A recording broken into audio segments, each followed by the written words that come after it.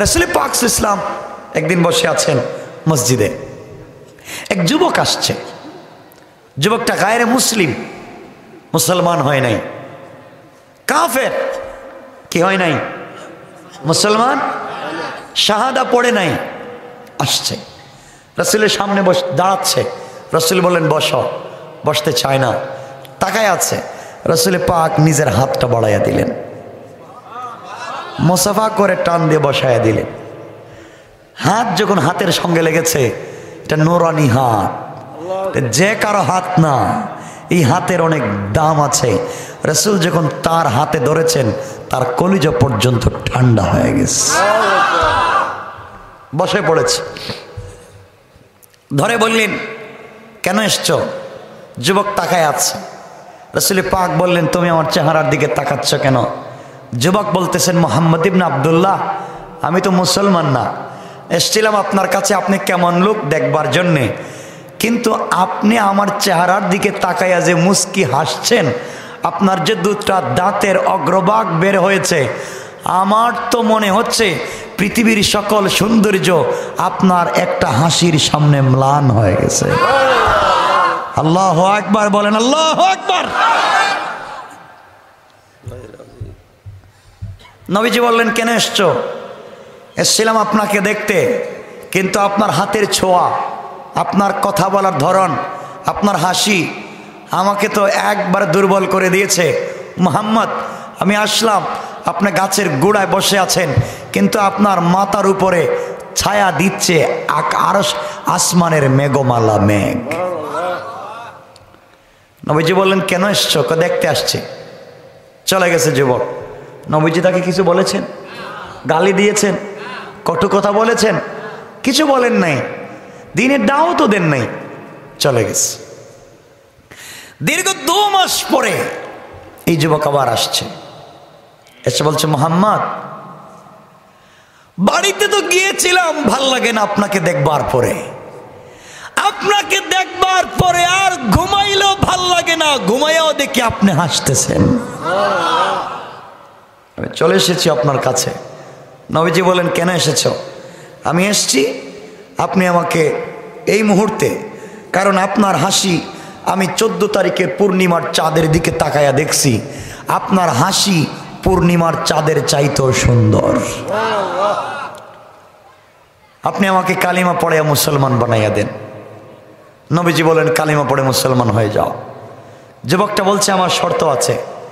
নবীজি বলছেন, আবার শর্ত কি? আমি কালিমা পড়ব ঠিকই, কিন্তু আমি নামাজ পড়ব না। কি বলছে?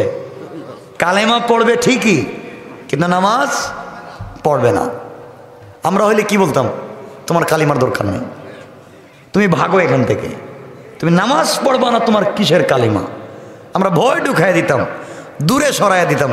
নবীজি বলেন ঠিক আছে, তুমি কালিমা পড়ো, নামাজের দরকার নাই তোমার যখন মনে হবে, ভালো লাগবে, তখন নামাজ শুরু করে দিও। সোহানাল্লাহ বললেন না। যুবক চলে গেছে। দীর্ঘ কিছুদিন পরে আবার এসছে।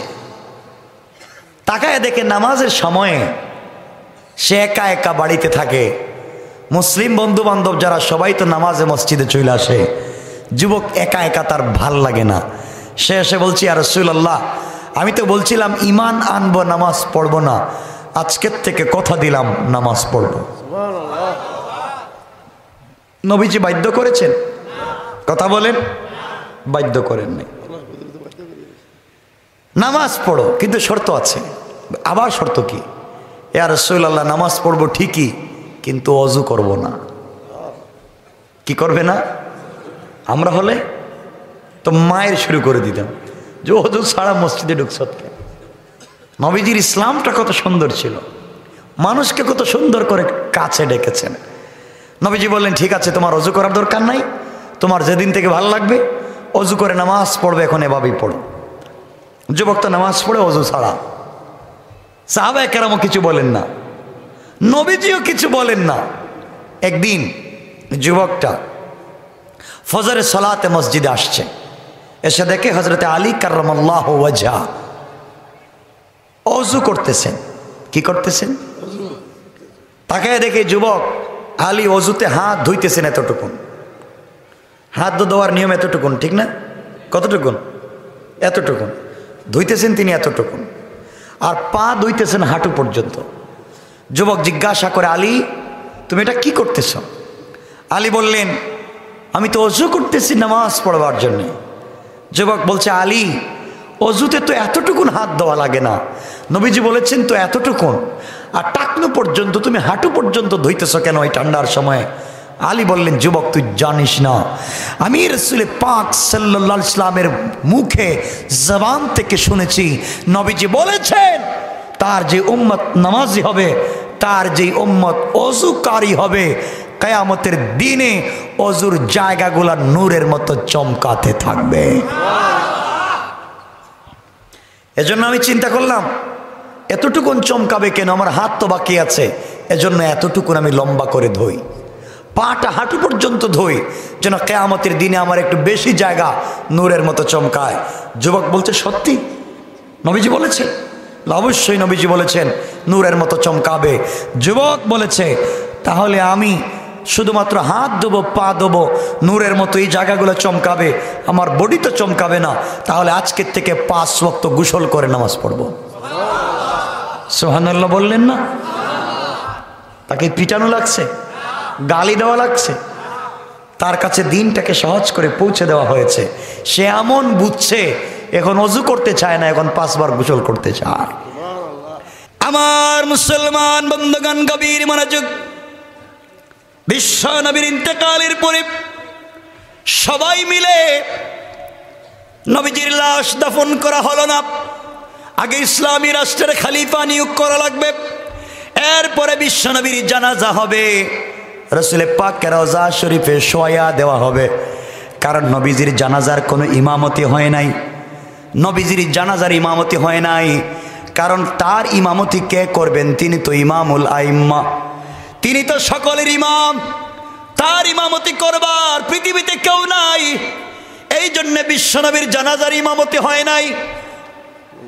যার যার মতো করে নামাজ পড়েছেন, দুই দিন, তিন দিন পর্যন্ত বিশ্বনবীর লাশ মোবারক রেখে রেখে দেওয়া হলো। দাফন করা হলো না। এর একটাই কারণ, আগে রাষ্ট্রের খলিফা নির্ধারণ করা লাগবে, ইসলামিক রাষ্ট্রের খলিফা নির্ধারণ করা লাগবে। এই জন্যে আজকে আমাদের আন্দোলন হবে, আমাদের সংগ্রাম হবে, আমাদের যুদ্ধ হবে। মসজিদের ভিতরে কোরআন প্রতিষ্ঠা করা নয়, আমাদের আন্দোলন মসজিদ থেকে সংসদ পর্যন্ত কোরআন পৌঁছে দেওয়া। আমার মুসলমান বন্ধুগণ, মনোযোগ দিয়ে কথাগুলা শুনবেন। কেউ কেউ ডাক দিয়ে বললেন, আমার দিকে তাকান। কেউ কেউ ডাক দিয়ে বললেন, আনসারদের মধ্যে খালিফা নির্ধারণ করা লাগবে। কারণ মুহাজিরদেরকে আনসাররাই সাহায্য করেছে। নবীজির ইন্তেকালের পরে আনসারদের মধ্য থেকে খলিফা নির্ধারণ করা লাগবে। কেউ কেউ বলছেন মুহাজিরদের মধ্যে লাগবে। মনোযোগ দিয়ে শুনেন কি বোঝাতে চাই? আনসার সাহাবিদের মধ্যে একজন দাঁড়িয়ে গেলেন, মুহাজিরদের মধ্যে একজন দাঁড়িয়ে গেলেন। একজন দাঁড়িয়ে বললেন, খালিফা হবেন দুজন, একজন আনসারের, একজন মুহাজির। একটা রাষ্ট্রের প্রেসিডেন্ট কয়জন লাগে? এখন হইতেছে কয়জন? সাহাবাহাম দুই গ্রুপ হয়ে গেলেন। এক গ্রুপ আনসারের পক্ষে, আরেক গ্রুপ মুহাজিরের পক্ষে। সবার মধ্যখানে দাঁড়াইয়া গেলেন হজরতে আবু বকর।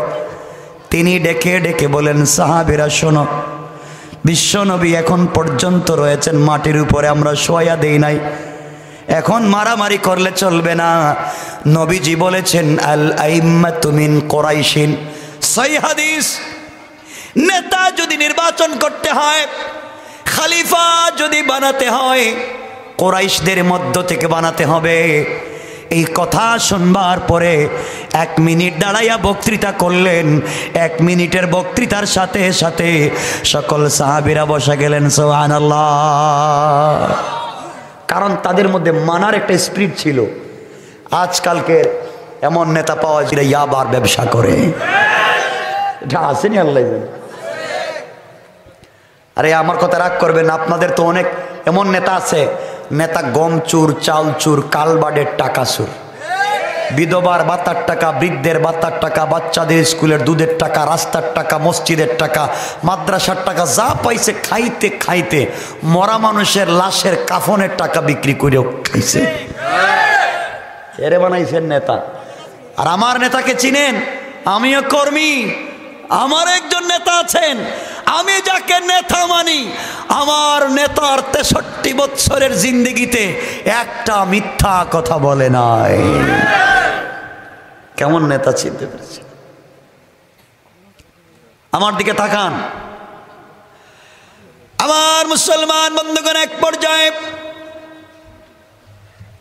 সাহাবায় কেরামের মধ্যে কিছু লোক দাঁড়িয়ে বললেন, নবীজি যখন বলেছেন আমার পরে যদি আল্লাহ কাউকে নবী বানাতো হজরতে অমরকে নবী বানাইয়া দিত।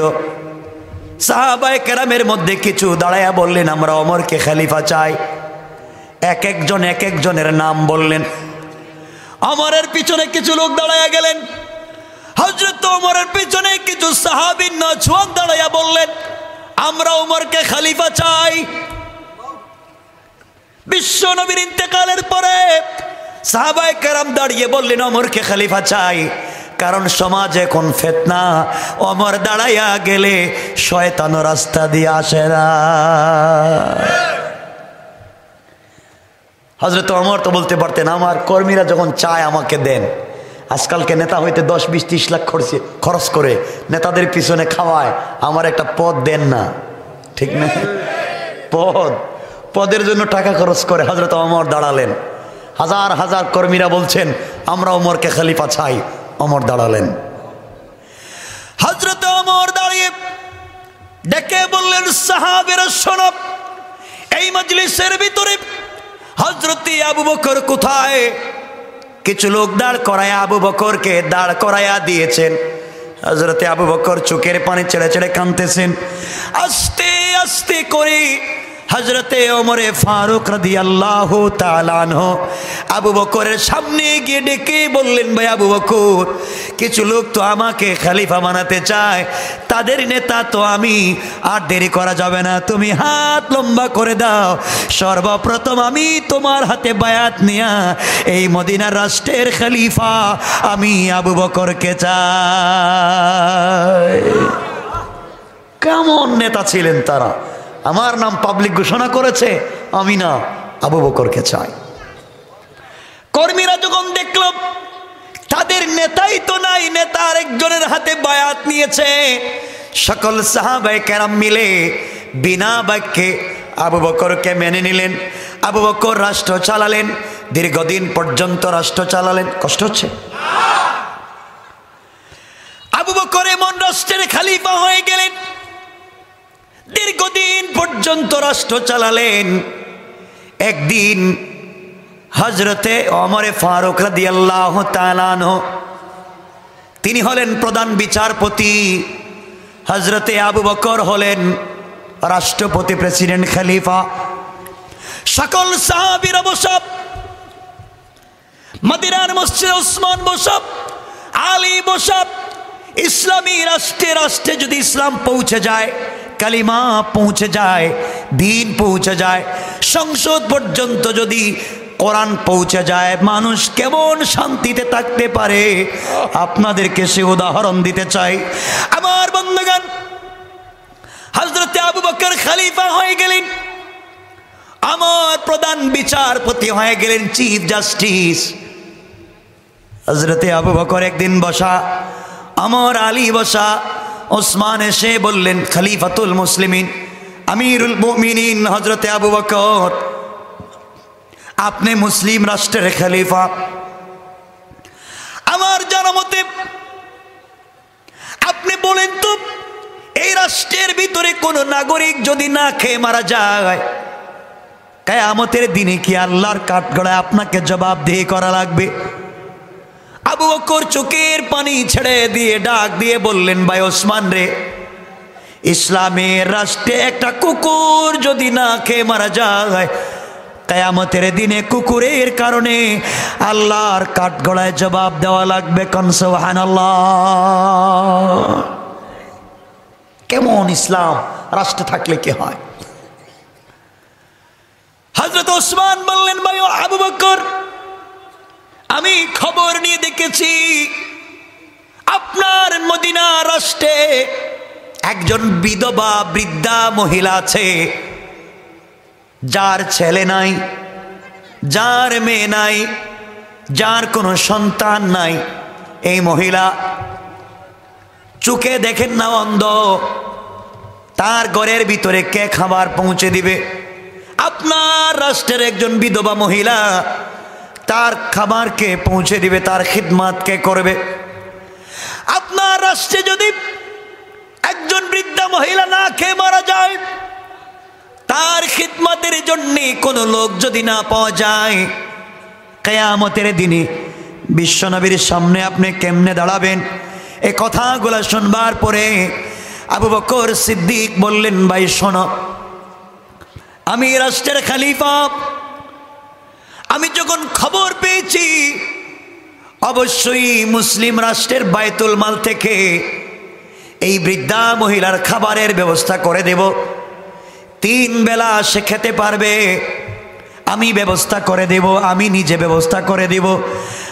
আর বাংলাদেশে যখন ইউনিয়ন অফিসে গরিবের জন্য গম আর চাউল আছে, তখন দেখা যায় একশো বস্তা আসলে ষাট বস্তা আগেই বিক্রি করে দেয়।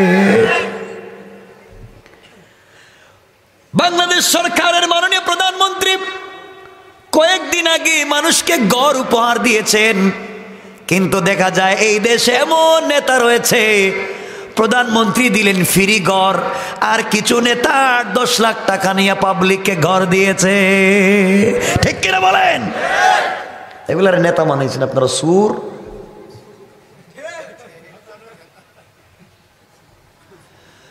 আমার মুসলমান বন্ধুগণ হজরতে আবু বকর বললেন, সাহাবিরা, তোমরা শোনো, এই মহিলার জন্য আমি খাবারের ব্যবস্থা করে দিব।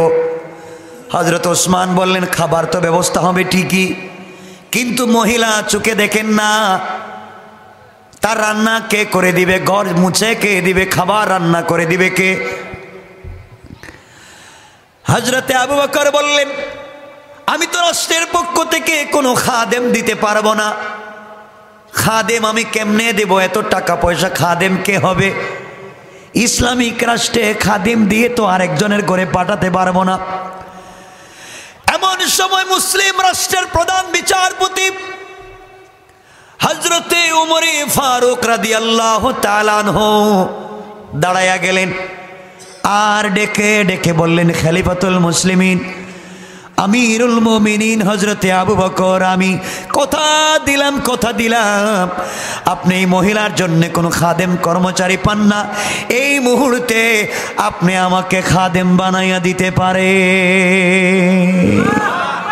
একদম প্রধান বিচারপতি চিফ জাস্টিস তিনি বলছেন, আমাকে বিদ্যা মহিলার কর্মচারী বানাইয়া দেন।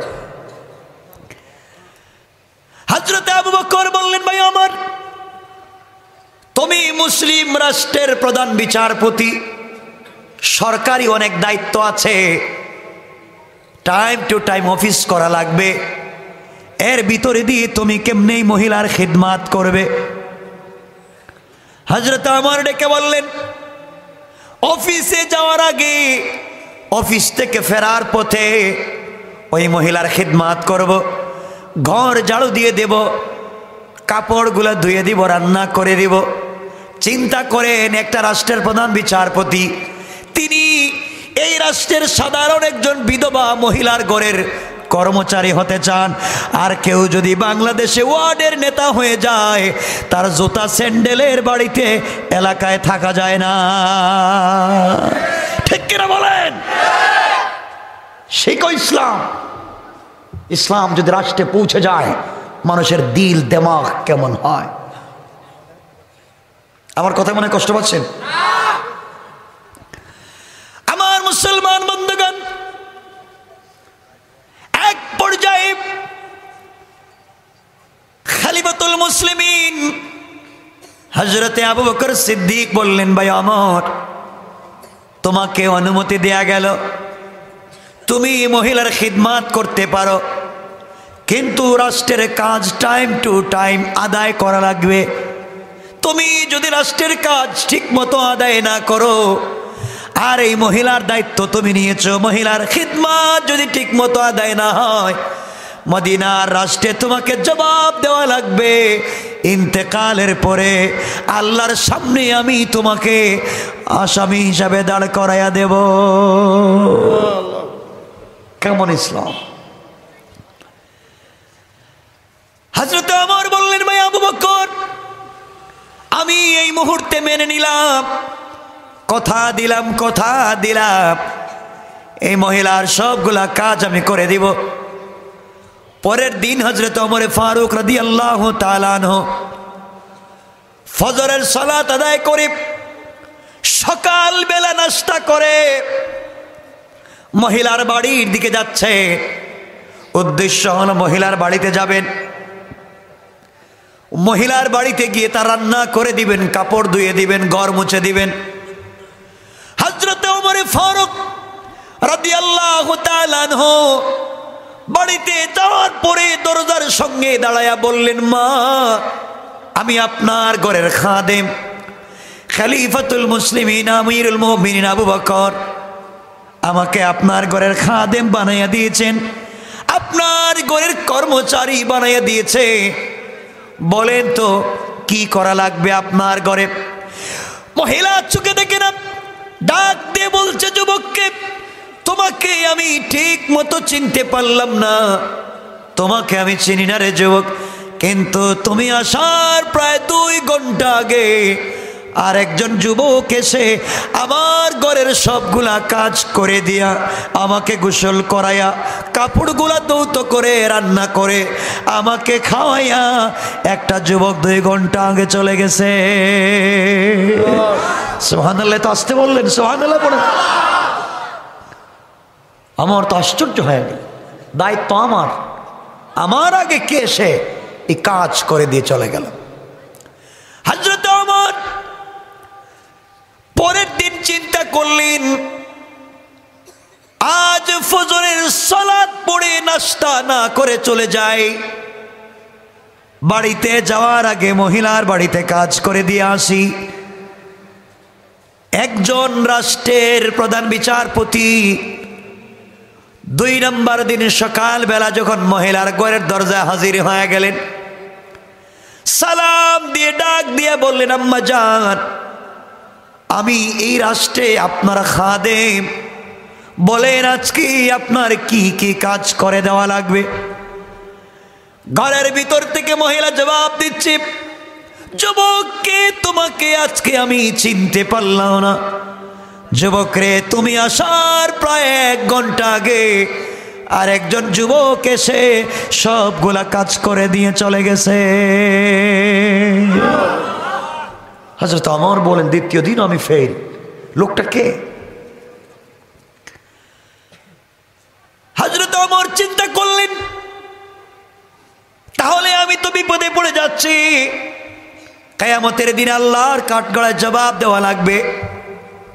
আবু বকরের সামনে জবাব দেওয়া লাগবে। তিন নম্বর দিন ফজরের সলাতের আগে চিন্তা করলেন, খিদমাত করে এসে নামাজ পড়ব। মুসলমান চিন্তা কর। একজন এক একটা এলাকার একজন বিধবা মহিলার গড়ে কাজ করার জন্য প্রধান বিচারপতির কত পেরেশানি। ফজরের সলাতের আগে বের হয়ে গেলেন।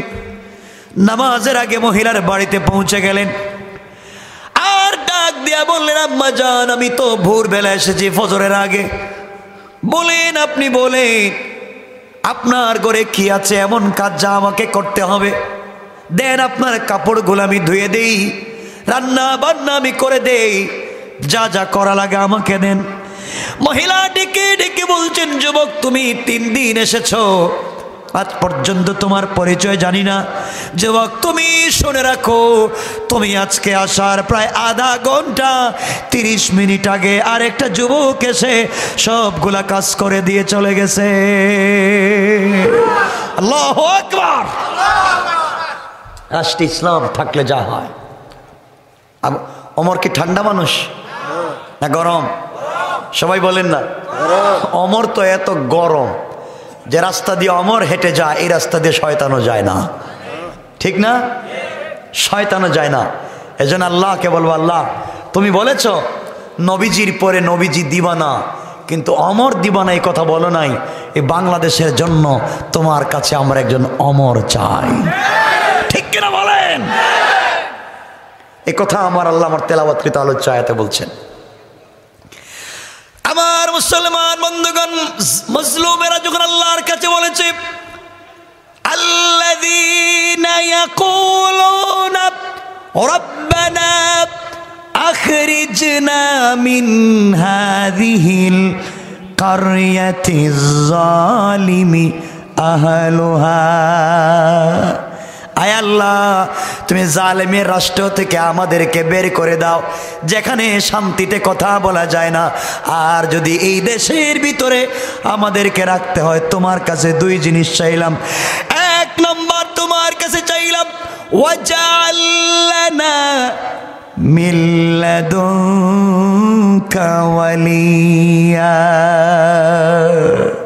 আল্লাহ, তোমার কাছে একজন নেতা চাই। তোমার কাছে একজন লিডার চাই, যে লিডার রাস্তায় বের হয়ে তাকবীর দিয়ে মাথায় পাগড়ি বেঁধে রাস্তায় নেমে যাবে। খালিদ ইবনুল ওয়ালিদের মতো গর্জন দিবে।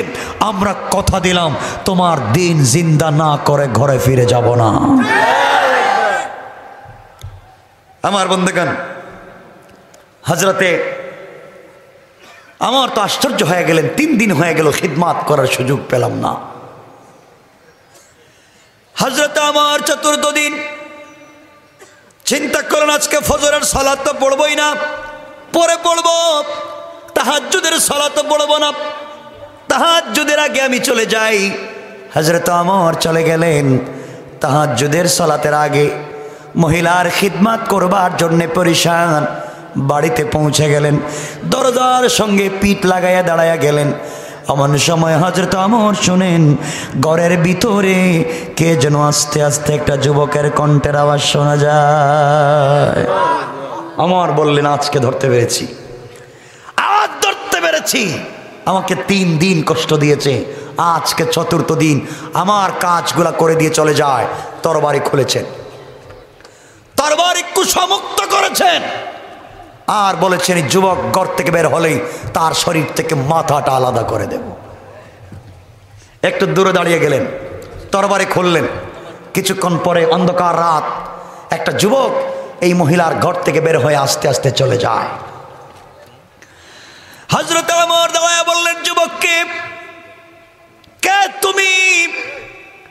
হঠাৎ করে মহিলার ঘর থেকে বের হয়ে চলে যাও।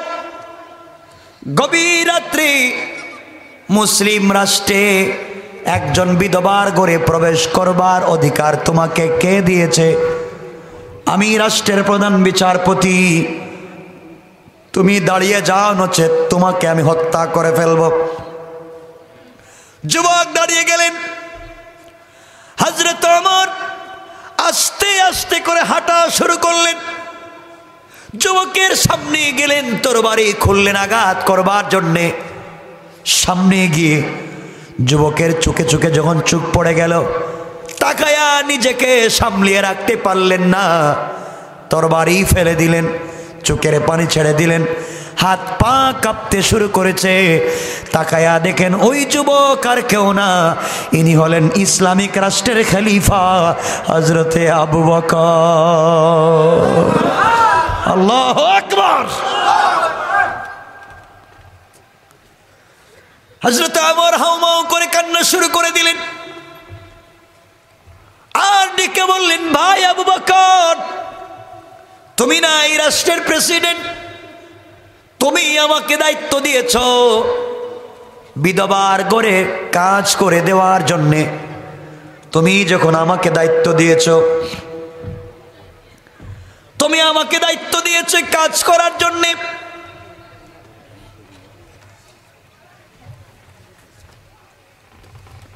আমি কথা এখানে রেখে দিলাম।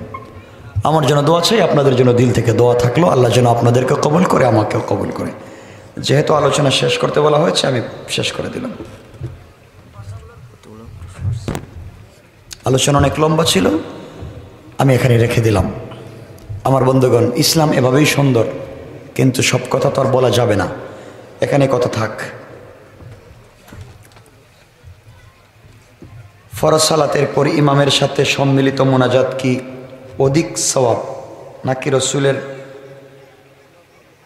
আমল পালন করে মোনাজাত না কি বুঝি নাই? আচ্ছা আহ, ফরজ সালাতের পরে আমি আপনাদেরকে প্রশ্নের উত্তর দিচ্ছি। যে ফরজ সালাতের পরে ওয়াজিব সুন্নত থাকবে সুন্নত মোয়াক্কাদা যে ফরজ সালাতের পরে থাকবে সেই ফরজ সালাতের পরে মোনাজাত না করা উত্তম। যেই ফরজ সালাতের পরে যেই ফরজ সালাতের পরে সুন্নতে মোয়াক্কাদা নামে কোনো নামাজ থাকবে না, এই ফরজ সালাতের পরে দোয়া করা উত্তম।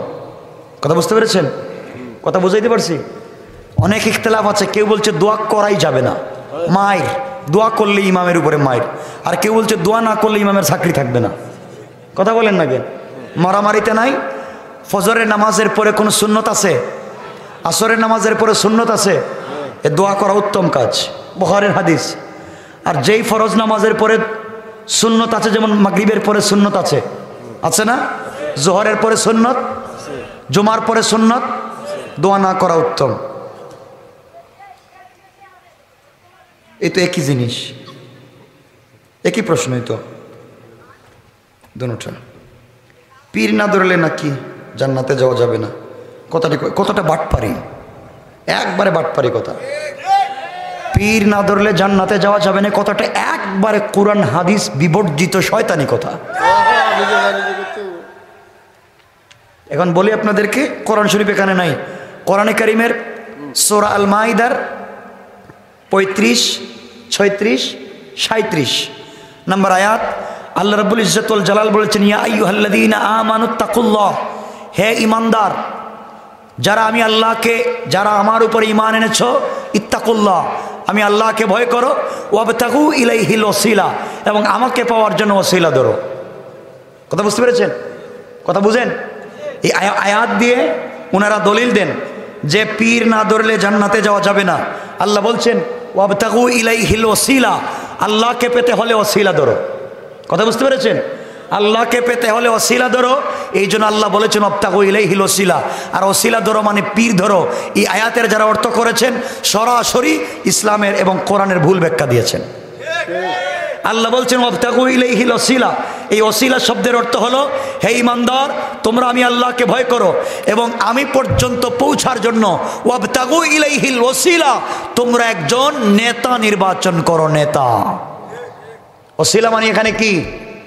নেতা অশিলা মানে এর পরের শব্দ পরিষ্কার করে দিচ্ছেন আল্লাহ।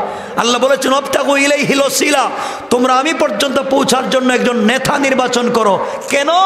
ওয়াজাহিদু ফি সাবিলি। যেন তোমরা এই নেতার নেতৃত্বে জিহাদ করে আমার জমিনে আমার দিন কায়েম করতে পারো।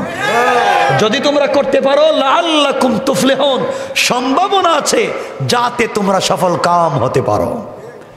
কথা বুঝাতে পেরেছি? সোরাল মাইদার আয়াত। পীর ধরা দললে জান, না দললে জান্নাতে যে একবারে ফালতু কথা বলা হয়েছে। কেমনি এটা বলে শেষ আমি আলোচনা এখানে রেখে দিলাম। আলোচনা তো আর করলামই না। যেহেতু ভাই বলছে সংক্ষেপ কথা শেষ। প্রশ্ন দিয়ে দিলাম। আর কারও প্রশ্ন আছে? কিছু বলবেন কেউ? প্রশ্ন থাকলে বলেন, আমি মোনাজাত করে দিই। আর সভাপতি কথা বললে বলবেন, কারও প্রশ্ন আছে কিছু? নাই। থাকলে বলেন, আমি এমন কোনো বক্তা না যে বাড়িতে চলে যাই আপনারা প্যান্ডেলে দাঁড়াইয়া প্রশ্ন করেন। আমি সরাসরি আপনাদের প্রশ্নের জবাব দিব। ওরে আল্লাহ আল্লাহ। ওরে মা। না, এগুলো করা যাবে না। মসজিদ আল্লাহর ঘর, কাউকে নিষেধ করা যাবে না। যারা বুকের উপরে হাত বাঁধে, যারা হাত ছাড়ে, যারা হাইটা নামাজ পড়ে, সবগুলা হাদিসে আছে। কোনোটা আমার এলাকায় নাই, কোনোটা আরও এলাকায় আছে। ফেতনা তৈরি করা যাবে না। যে এলাকায় কোনো মানুষ ইসলাম নিয়ে ফেতনা তৈরি করবে, তাকে সমর্থন করা যাবে না।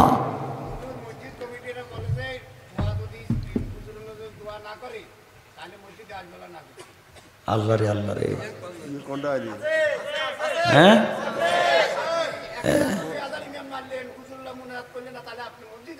আচ্ছা জায়গা এই কাজ যদি কেউ করে উনি তওবা করা লাগবে, আমি ফতোয়া দিলাম।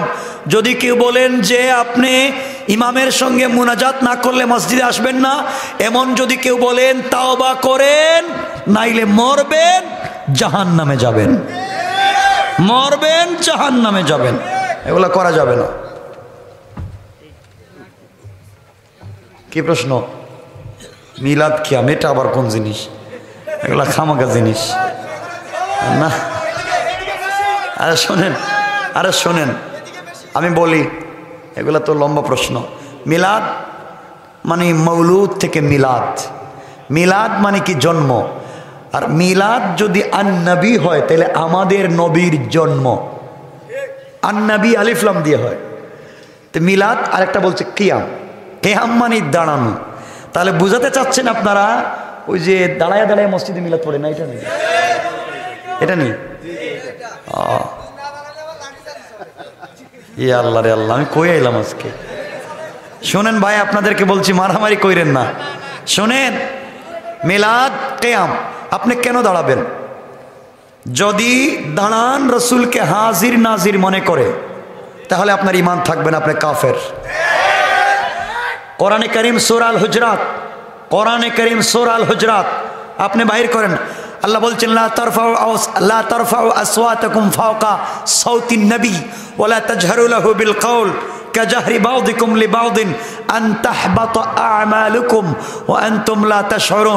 আল্লাহ বলছেন, যেখানে রসুল হাজির থাকবেন, সেখানে পৃথিবীর কোনো সৃষ্টির ক্ষমতা নাই কথা বলার। যদি তোমরা কথা বলো আন্তাহবাত আমালুকুম, তোমাদের জিন্দগির পুরা বন্দেগি বরবাদ ও আন্তুম লাতা সরুন তোমরা টেরি পাবে না। লাতা আলামুন বলেন নাই। এখানে লম্বা তাফসির আছে। আল্লাহ বলতে পারতেন ও আন্তুম লাতা আলামুন মানে ভুলে চইলা গেছে, ভুলে হয়ে গেছে। আল্লাহ বলছেন ও আন্তুম লাতা সরুন টেরি পাবে না। এর অর্থ হলো, নবীজি হাজির নাজির মনে করে, হাজির, নাজির, উপস্থিত যাকে দেখা যায়। এখন যদি নবীজি আসছেন, এই মনে করে আপনি দাঁড়ান ইমান থাকবে না। কারণ নবীজি হাজির ও নাজির না। নবীজি, যতক্ষণ পর্যন্ত মক্কায় ছিলেন, ততদিন পর্যন্ত মদিনায় ছিলেন না। কথা বলেন না। যদি তিনি হাজির ও নাজির হতেন সব জায়গায়, তাহলে মক্কার থেকে মদিনায় গেছেন কেন? সব জায়গায় তো আসেন না বুঝেন নাই? নবীজি, মক্কার থেকে মদিনায় যান নাই? না, যান নাই? তাহলে গেলেন কেন আর আইলেন কেন? উনি তো আসেনি। আল্লাহ কোথাও গেছেন? বলে, আল্লাহ আজকে আমেরিকা গেছেন। কালকে বাংলাদেশে আসছেন। এ কথাকে বিশ্বাস করে? না, আল্লাহ সব জায়গায় আছেন। যিনি সব জায়গায় আছেন, তার যাওয়া আসা নাই। যিনি সব জায়গায় হাজির, তিনি যাওয়া আসা করা লাগে না। আল্লাহর রসুল হাজির না। এই জন্য মক্কায়ও ছিলেন, মদিনায়ও ছিলেন। যখন মসজিদে থাকতেন, তখন আয়সার ঘরে থাকতেন না। যখন জিহাদে থাকতেন, তখন বাড়িতে থাকতেন না। কথা বুঝতে পেরেছেন? নেয়ার পরে বুঝেন নাই। আর একটু পরিষ্কার করে বুঝাই। আপনারা যখন মুনাজাত করেন, আল্লাহ আমাদের পক্ষ থেকে লক্ষ কোটি দুরুদার সালাম নবীজির রৌজায় নিয়ে পৌঁছায় দাও। বলেননি? কেন পৌঁছাবেন? কেন পৌঁছাবেন নবীজির রৌজায় নবী তো এখানে হাজির ওনারে দিয়া দো তারা দোয়ায় বলেন নাই কথা? আমাদের পক্ষ থেকে লক্ষ কোটি দুরুদার সালাম মদিনায় পৌঁছাও। তো নবী তো এখানে, তো মদিনায় কারে দিবেন? আমার যুক্তি এই বুঝেন না এগুলা? এগুলো এগুলো ফালতু জিনিস। এজন্য মারামারি করবেন না। মানুষকে বুঝাবেন। কেউ যদি বলে, মিলাদ কিয়াম না করলে মাইর তাইলে আপনি মাইর করা লাগবে না। আল্লাহ বলছেন, ইন্না কাইদা শয়তানি কানা দাইফা। এগুলা কৌশল শয়তানের, আমি আল্লাহ জানি। মারামারি করা যাবে? না। আর কিছু? আরে রাত্রে গেছে। দেখেন আবার কালকে মিলাদ কেমনি মাইল লাগাইন না। আর আপনারা পড়েন ইয়া নবী কি কি পড়েন এগুলো কইেন না। সালাম আলাইকা। বলেন। মাজার কি তাহলে এটা মাজার কেন্দ্রিক মসজিদে কি ইবাদত? মাজার কেন্দ্রিক কি লিখছে? মাজার কেন্দ্রিক মসজিদে কি ইবাদত বেশি কবুল হয়? না এলা ফালতু কথা। মাজার কেন্দ্রিক ইবাদত বুঝি নাই। মানে মাজারে মাজারে।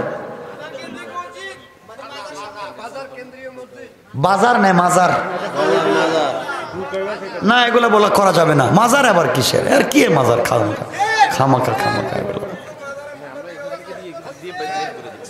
আরে হাসাহাসি না, এগুলো বাদ জিনিস। আল্লাহর গড় মসজিদ, ইবাদত করবেন। ফেতনা করা যাবে না। ঠিক আছে? মাজার কেন্দ্রিক কিছু নাই সব মসজিদ কেন্দ্রিক। ইবাদত চলবে মসজিদে। শেষ। আল্লাহ কে বলছে?